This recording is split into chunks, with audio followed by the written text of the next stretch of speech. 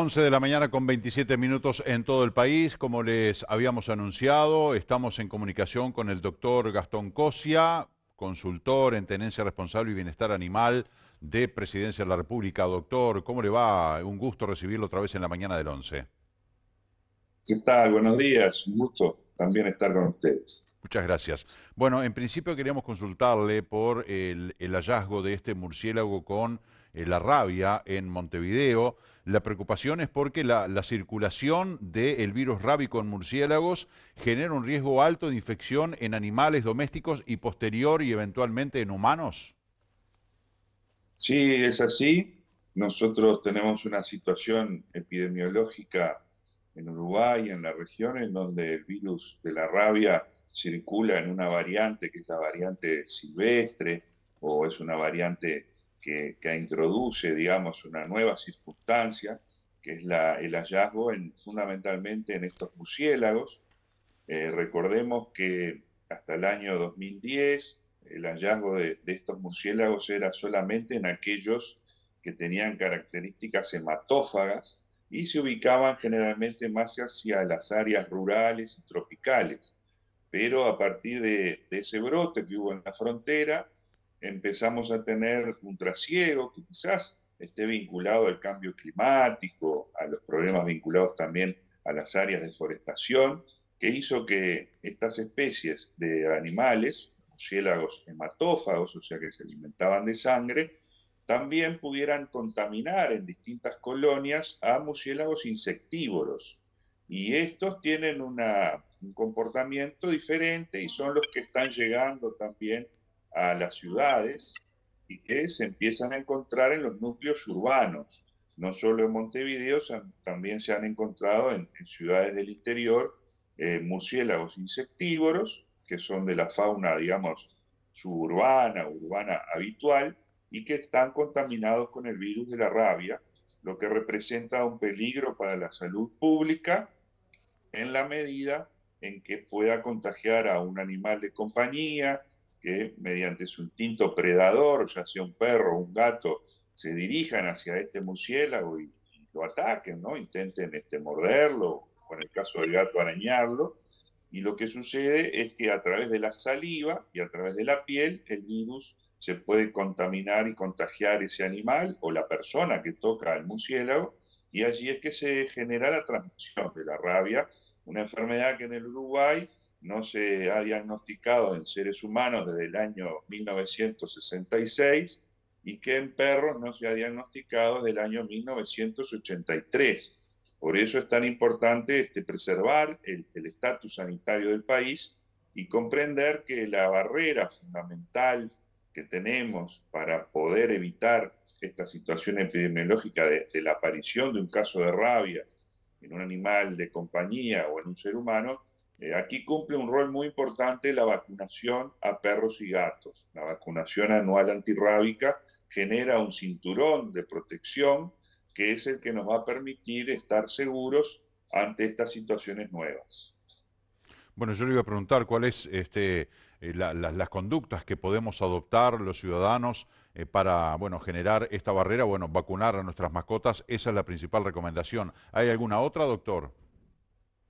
Sí, también seguir las recomendaciones, por supuesto, del Ministerio de Salud Pública, de los prestadores de salud, que tienen que ver con, primero, eh, cuando haya un, hallazgo de un murciélago, que son fauna, digamos, silvestre, que, tampoco debemos tener una animosidad contra ella, porque cumplen un rol en el ecosistema y en muchos casos están protegidos, pero el hallazgo es cuando estos animales tienen características que no son normales, se pueden encontrar en, durante el día, o atontados o, representando, digamos, alguna actitud anormal, porque estos animales tienen hábitos nocturnos generalmente. Pero bueno, el hallazgo es durante el día, se encuentran en, una situación de, estar como en una taxia o que no pueden desplegar el vuelo o se encuentran eh, rengueando en el piso. Bueno, las personas no deben tomar contacto con estos animales, no se deben tocar, la manipulación este, la deben hacer especialistas, hay que tener mucho cuidado porque, reitero, el contagio se hace a través de la saliva.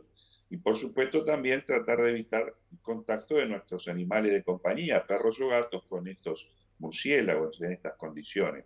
Hay un teléfono habilitado por el Ministerio de Salud Pública para poder, eh, digamos, notificar la presencia de estos animales y también este, es importante esto para poder llevar adelante una vigilancia epidemiológica ante el hallazgo de estos murciélagos, eh, verificar si los mismos están contaminados o no con el virus rábico. Lo que decíamos con respecto a la vacunación, como durante muchos años Uruguay no ha tenido casos de rabia en perros ni en gatos, muchos profesionales, veterinarios, en algunos casos, han dejado de recomendar la vacunación anual o no se ha llevado adelante. Entonces ahora es muy importante porque la indicación está, todos los profesionales veterinarios lo sabemos, sabemos de la importancia de esta nueva situación epidemiológica. Entonces lo que exhortamos es que las personas se acerquen a su servicio veterinario de confianza, a su, a su clínica veterinaria y consulten sobre el plan y el esquema de vacunación anual, que es lo que en definitiva da una mayor protección y genera las garantías del caso. Es muy importante, y esto no es para alarmar, pero sí para que se tenga en cuenta, en, en la ciudad, en Buenos Aires, se, se encontró un caso de rabia humana transmitido por un gato que fue el que mordió a la persona. Esto ocurrió en el año 2021 y es el último reporte que hay en Buenos Aires de rabia. Entonces, aquí es que lo decimos esto para resaltar la importancia epidemiológica que tiene. Por ejemplo, la presencia de un gato que puede en algún momento atacar a un murciélago contaminado por rabia y transmitirse en un vector de esta enfermedad al ser humano que naturalmente tiene más contacto con el gato que con el murciélago. Entonces, eh, ahí es donde advertimos la importancia que tienen nuestros animales de compañía como cinturón de protección ante esta, esta situación epidemiológica que no vamos a poder erradicar porque los murciélagos van a seguir circulando en, en las zonas urbanas, suburbanas y por supuesto rurales, y lo que debemos nosotros es extremar las precauciones y la prevención a través de eh, elevar la cantidad de animales inmunizados. Uruguay tiene una baja tasa de perros y de gatos inmunizados contra la rabia y es una responsabilidad que tenemos los profesionales veterinarios y la población en general de comprender que es la única manera que tenemos de tener una, una respuesta efectiva y en la materia de prevención contra esta nueva situación epidemiológica. Eh, ¿Debemos estar atentos a algún tipo de síntomas que podamos ver en nuestras mascotas, por ejemplo? Bueno, en general lo que decíamos, la importancia de la vacunación, un animal vacunado va a estar protegido. Y en segundo lugar, eh, recordar que las denuncias de mordedura son obligatorias.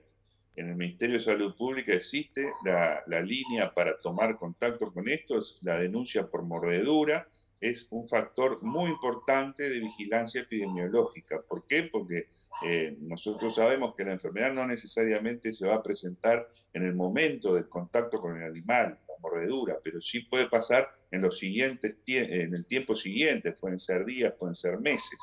Entonces ahí es donde, primer caso, primera cosa que debemos recomendar, eh, la denuncia obligatoria de todo episodio de mordedura de animales. Y en segundo término, por supuesto, acercarse a los prestadores de salud. Eh, la situación en, el tema de la rabia en Uruguay, por suerte, no hemos tenido casos de hace muchos años, pero la situación epidemiológica actual hace que extrememos los controles. Y reitero, el evento sanitario comienza al tomar contacto con un animal de estas características. Si hay un murciélago de estas características en una casa, si un perro o un gato toma contacto con un murciélago de estas características, si una persona es mordida por un perro, un gato o eventualmente por un murciélago, se debe llevar adelante la denuncia en el prestador de salud y en el Ministerio de Salud Pública. Eh, doctor, aprovechando su, presencia y obviamente en calidad de, médico veterinario, le quería preguntar por el tema de la gripe aviar. Leíamos que en Argentina se confirmó el primer caso de contagio en humanos. Eh, aquí hay este, mucha preocupación por eh, el saltado de las barreras de, las, aves salvajes a las aves comerciales y eventualmente que podría pasar a humanos. ¿Cómo nos podría usted describir la situación? Bueno, se está llevando adelante por parte del Ministerio de Ganadería muy buen control. en todos los puntos críticos. Como usted bien dice, aquí tenemos un rol muy importante que son las aves que tienen, eh, digamos, esas características migratorias. Y aquí la, la, importancia recae en tomar las medidas de, de, seguridad que tanto el Ministerio de Salud Pública está dando para las personas que trabajan con aves, como los de las medidas que está recomendando el Ministerio de Ganadería con respecto a los lugares en donde hay establecimiento de producción y también en aquellos lugares donde hay aves que, representan este, núcleos, por ejemplo, de animales silvestres. Estamos hablando de, lugares de depósitos de fauna, como pueden ser bioparques, ecoparques o algunos zoológicos. Allí sabemos que ya se han clausurado las visitas a, muchos de ellos, eh, el encierro de estos animales y, y la posibilidad de tener contención o normas de bioseguridad de estos animales para que no tomen contacto con el exterior, eso es, clave porque el, virus se va a contagiar a través del ingreso, ya sea de eh, vectores que pueden ser las propias aves o eh, vectores inanimados que ingresen a estos lugares de concentración de aves.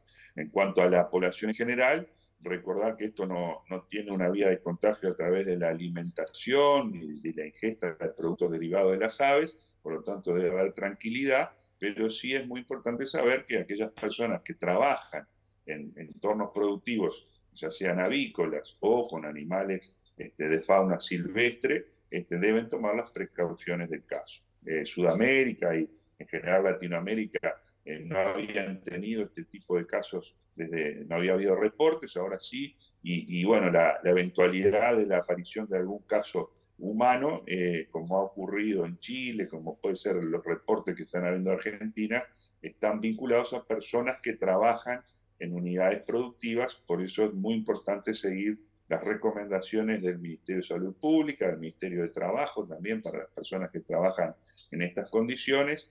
Y bueno, advertir también, porque hay muchas aves eh, criadas en trasfondo, es decir, en casas, en lugares en donde quizás la, la seguridad o la bioseguridad no está tan presente, bueno, este, extremar eh, los controles y pedir el asesoramiento al Ministerio de Ganadería en los casos necesarios donde haya eh, evidencias de muertes súbitas y de animales en, estas condiciones. ¿no? Mucha gente cría gallinas en, los fondos y ese es el problema mayor eh, a la hora de, poder tener un buen contralor sanitario este, de esta enfermedad. Es importante también subrayar de que, eh, y usted lo ratificará, no hay inconveniente en el consumo de carne de ave ni tampoco ningún producto de granja. Exacto, eso eh, hemos hecho mucho énfasis en eso, se ha hecho por parte de las autoridades, eh, de los encargados también de la comercialización y la industria en general avícola, lo que es la cadena alimenticia no se ve afectada por esta situación eh, reiteramos, el problema está en quienes conviven en las unidades productivas o en los, en los lugares donde hay gran concentración de aves, que es así que esos trabajadores deben tomar las medidas del caso. Doctora Gastón Cosia, yo le agradezco mucho por estos minutos, un gusto conversar con usted, gracias por atendernos. A las órdenes, que pase muy bien. Gracias, igualmente. Señores y señores, eh, son las 11 y 41 de la mañana. Este, Tenía otros temas para hablar con Cosia, pero para no entreverar, porque si no es una ensalada, porque quería este, plantear el tema de los animales sueltos en las rutas. Algo que hace dos años ya lo hablamos con Gastón Cosia. Eh, bueno, hace poco, unos días nomás, hubo un siniestro aquí en el departamento de Maldonado de una persona que atropelló en la ruta a un animal que estaba suelto en la noche. La persona no se mató de milagro, recibió algunas lesiones, pero el auto quedó destruido. Es un gran problema. Eh, el peligro que implica para la gente y también las responsabilidades, ¿no? Este, que en algún momento la responsabilidad era del automovilista que lo embestía. Eh, ahora la responsabilidad también es, que parece más lógico, ¿no? El dueño de ese animal, porque ese animal está suelto. ¿Eh? Este, pasó otro accidente de una, una, tropilla que venían arriando y bueno, uno de los caballos si bien venía atado, pero tenía una piola muy larga que le permitió llegar hasta la ruta, provocó un accidente, el encargado de la tropilla dio una espirometría positiva, este, bueno, el, tránsito de los animales por los costados de las carreteras, cuando hay eventos de criollas o que hay que cambiar los animales de un potrero a otro o cuando sacan animales a pastar al costado de la ruta, este, bueno, en fin, o cuando hay que embarcar animales, que si bien se hace con mucha precaución, eh, pero de todas maneras ha sucedido muchas veces, hay muchas historias de siniestros de tránsito provocados por animales sueltos en las rutas. Pero bueno, en otra ocasión hablaremos con el doctor Cosia para eh, abordar estos temas. ¿Hacemos una pausa? Ya venimos. thank you